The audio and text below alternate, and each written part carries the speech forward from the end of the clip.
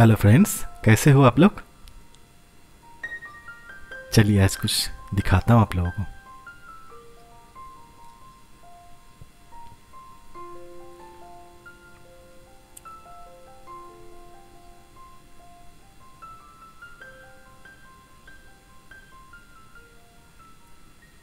Welcome to my arctic channel ये काम आप लोगों ने देखा होगा। रिसेंट अपलोडेड वीडियोस में एक बार जाके देख लीजिए। ये म्यूरल मेकिंग प्रोसेस मैंने दिखाया। प्लीज़ एक बार देख लीजिए।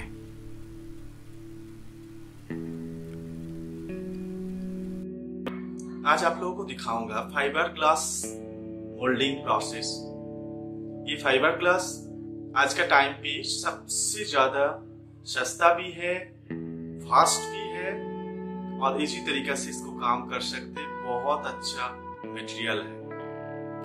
तो इसका प्रोसेस जो है, आप लोगों को ये वीडियोस ध्यान से देखना पड़ेगा। स्किप मत कीजिए। जितना डिटेल हो जाए, उतना डिटेल करके इस वीडियो में बताने वाला हूँ क्या इसका कौन सा केमिकल है, क्या है कि कैसे मिलाना है, इसका प्रोसेस क्या है। तब लोग प्लीज़ पूरा वीडियोस को अच्छा से ध्यान से देखिए। जैसा यहाँ पे वैक्स पॉल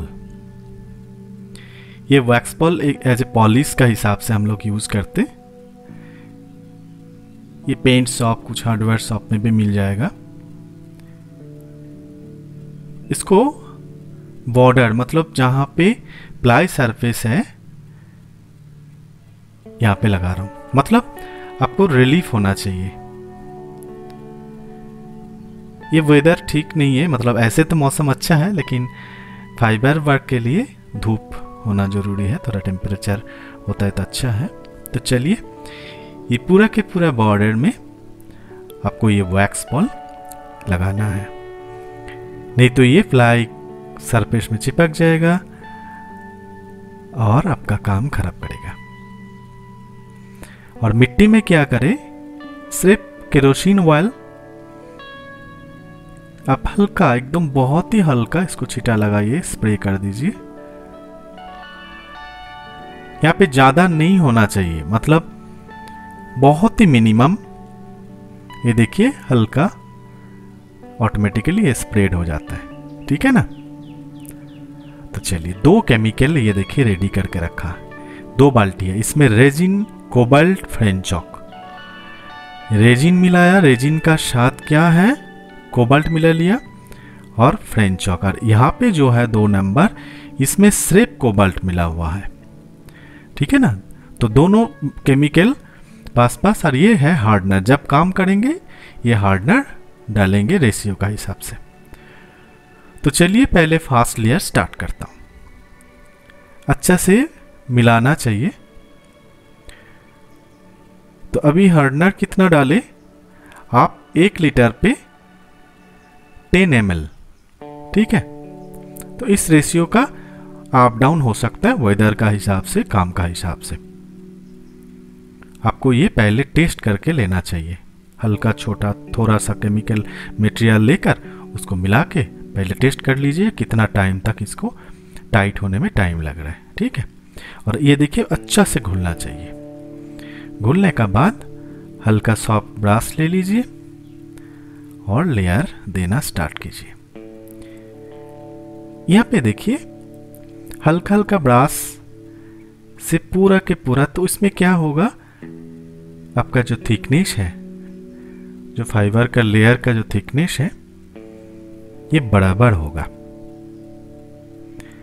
और ऐसे ऊपर से पूरा डाल देंगे तो क्या होगा?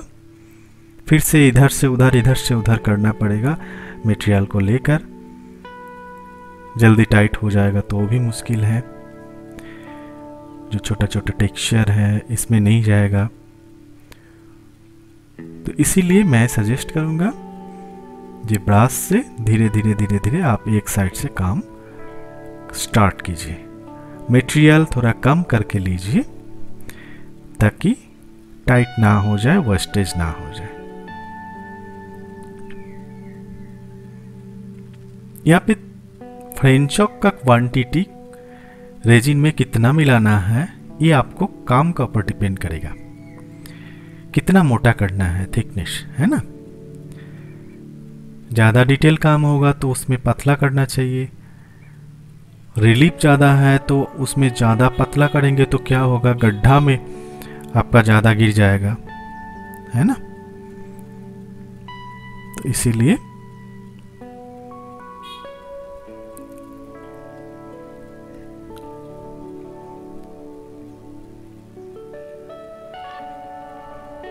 जैसा रिलीफ ज़्यादा है यहाँ पे गणेश के एरिया में तो इसमें आप ज़रूरी होगा तो थोड़ा पतला भी कर सकते क्योंकि इसमें डिज़ाइन डिटेलिंग भी ज़्यादा है है ना? तो ऐसा करके आपको देखना है जो क्वांटिटी थिकनेस कैसा होना चाहिए, ठीक है ना?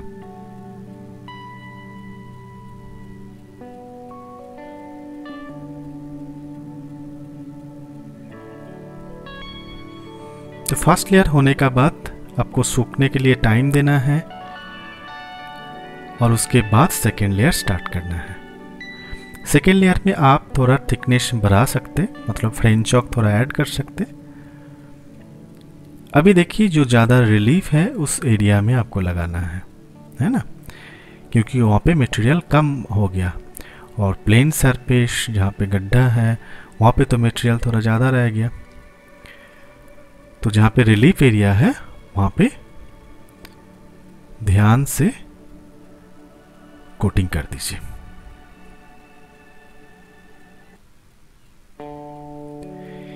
तो अभी सेकेंड लेयर भी आपका सूख जाए, एकदम टाइट हो जाए, उसके बाद थर्ड लेयर मतलब मैटिंग करना है।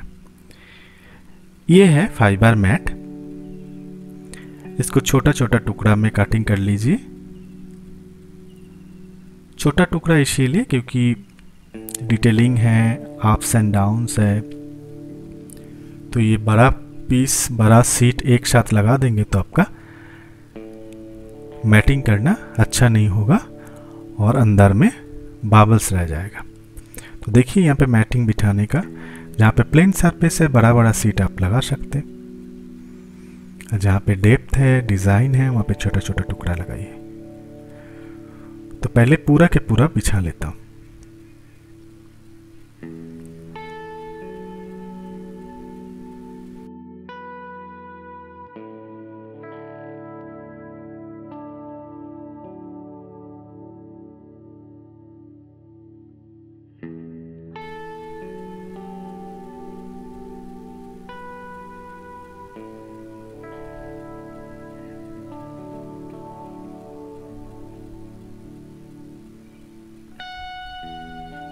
अभी जो है, ये रेजिन और कोबाल मिला हुआ जो मटेरियल है, इसको सिर्फ़ हार्डनर मिला के अभी मेटिंग मैटिंग करेंगे, ठीक है ना? इसमें फ्रेंच चॉक नहीं मिला है। तो इसको देखिए, ये काम भी बहुत ध्यान से करना पड़ेगा, क्योंकि इसमें अंदर में मतलब जो फ़र्स्ट एंड सेकेंड लेयर का बीच में और ये मैटिंग का बीच में आपका गैप नहीं रहना चाहिए, है ना? तो ये जो बाबल्स है, ये ख़राब करता है। तो इसीलिए आपका पूरा एरिया एक साइड से ध्यान से इसको बिठाना है। तो ब्रास से अच्छा करके प्रेस करके करके आप लेयर लगाइए। ये मैटिंग का लेयर आप अपना काम का हिसाब से थिकनेस जो, जैसा ज़रूरी है, उस हिसाब से दो कोट आप लगा सकते मैट भी आप 300 सौ जी एस एम चार सौ जी एस एम तो थिकनेस जितना होगा उस हिसाब से भी काम ज़्यादा कर सकते हैं।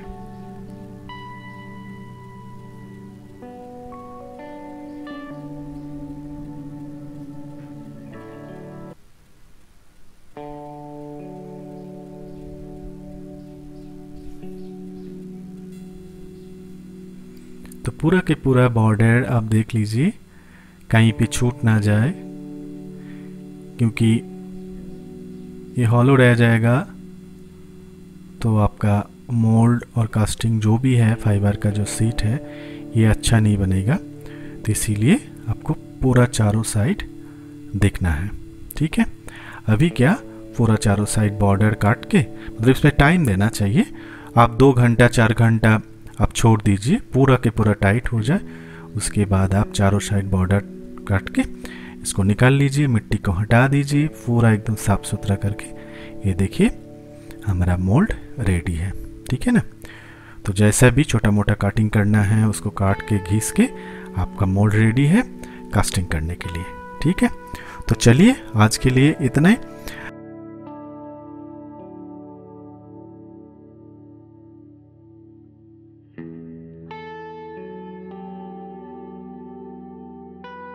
मेरा आर्टिक चैनल पर जाकर सब्सक्राइब बटन प्रेस कर दीजिए और साइड में बेल आइकन में ऑल नोटिफिकेशन पाने के लिए ऑल नोटिफिकेशन क्लिक कर दीजिए और ऑल वीडियोस आप एंजॉय कीजिए मेरा चैनल पर। Thank you